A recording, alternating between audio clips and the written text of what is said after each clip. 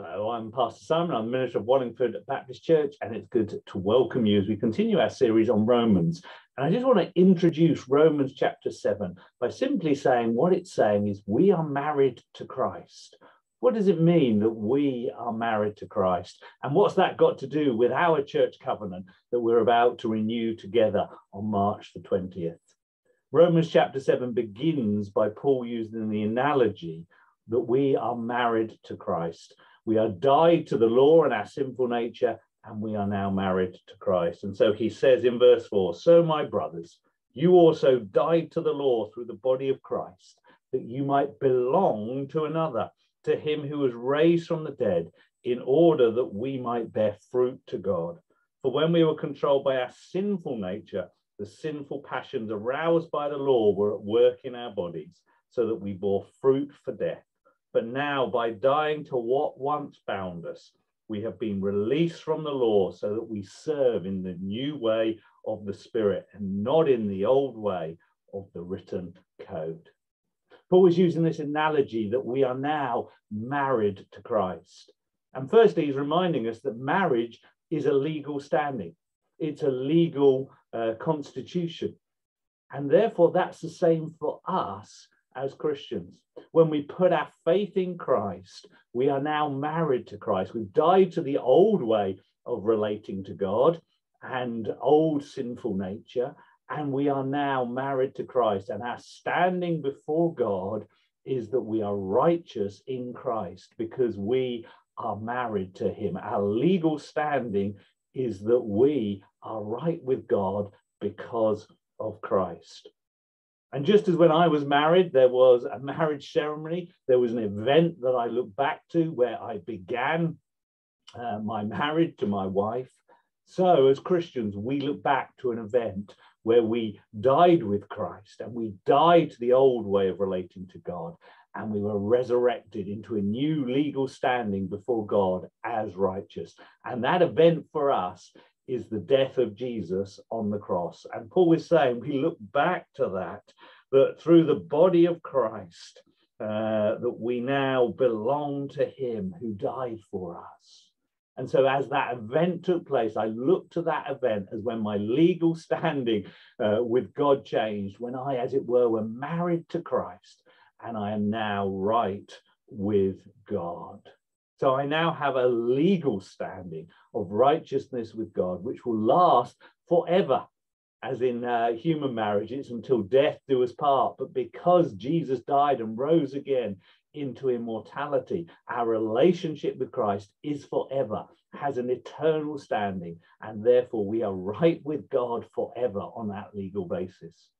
But more than that, marriage is not just an event is not just a legal basis, it's not just a certificate, it is a relationship. And here we told that we belong to Christ.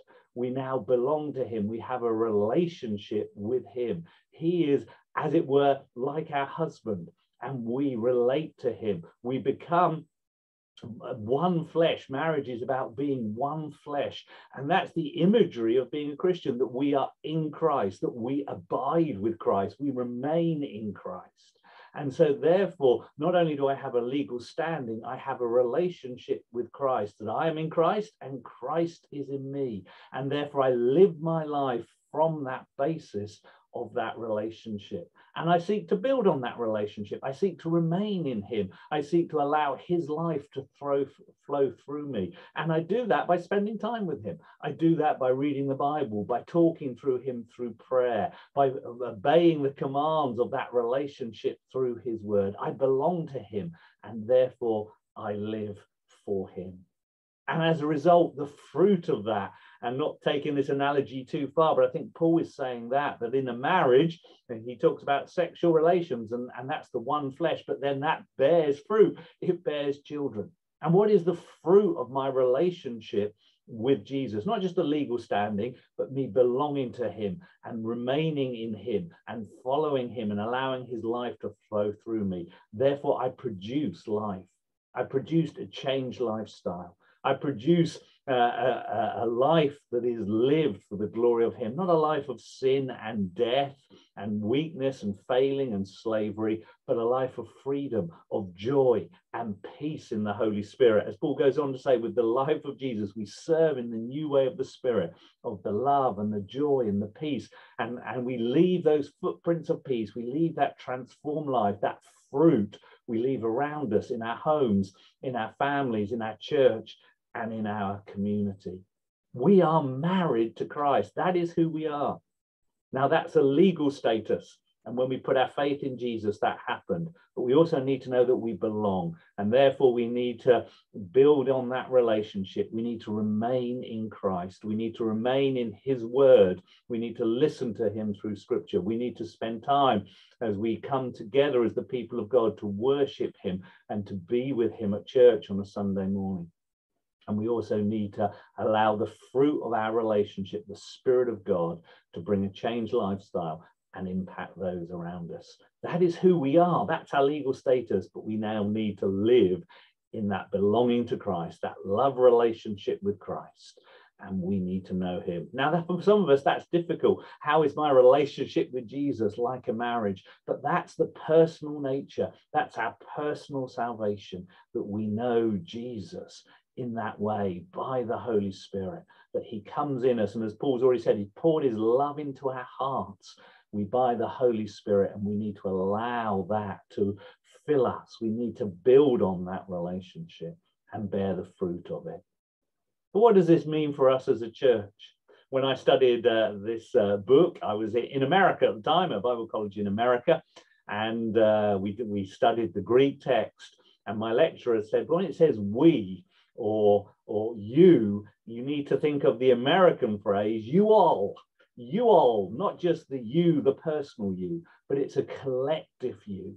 And for us, as we look at this passage, we need to remember that actually we are married to Christ as a church, as a people, not just as individuals, but we relate to him as the people of God, that we are the, the bride of Christ, is often how the church is referred. And it's something we are together. And so, therefore, we need to recognize this isn't an individual faith. This is something that we do together. We relate to Jesus as our husband, as the bride, the church. And therefore, we need to see this phrase not just as an individual faith, but a covenantal faith, a faith of a people built together to, to allow, to belong to Jesus together and allow his fruit to flow through us together. That's what the church is. It is the bride of Christ.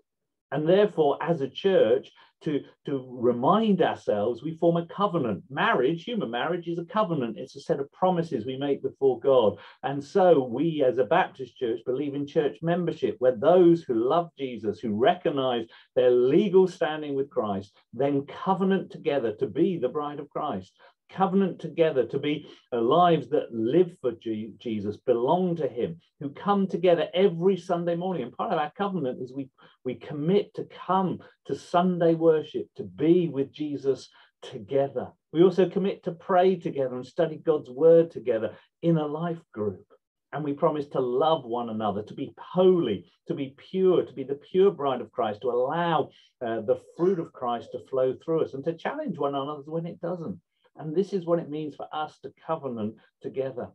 And so, therefore, as we hear that phrase, you all, let us recognize that we're called to this Christian life, the bride of Christ, this marriage together as a church. And therefore, let us covenant with Jesus, but also with one another to love Jesus to love one another, to be that pure bride that bears the fruit of Jesus. And so we want to encourage all those who have been connected to our church, either coming in person or on Zoom or Facebook and YouTube. We really want you to come and decide that Jesus has called you to covenant with us, to love Jesus and to be the bride of Christ together, to bear the fruit of Jesus, the life of Jesus in our life together. And if you can do that, we really encourage you to join us on March the 20th, on Sunday, March the 20th. If you can, at all possible, come in person where we will make promises. We will renew our promises before God to be the bride of Christ together, to get love Jesus together as we come to worship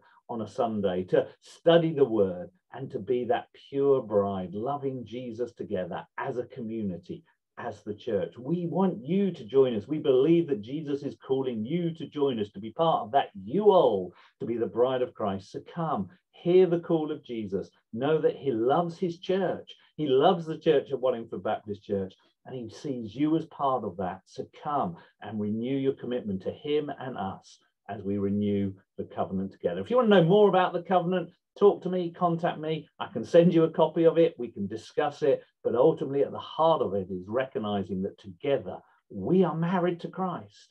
And therefore, we are to love Christ together.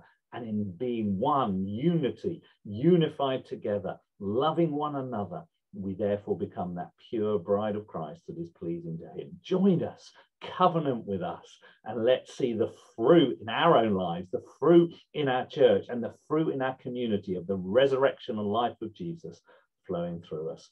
God bless you. And do come on March the 20th. Let's commit together. And if you're not a church member and you want to commit to the first time for us as a church, be a great day to do it. Do talk to me. God bless you and bye for now.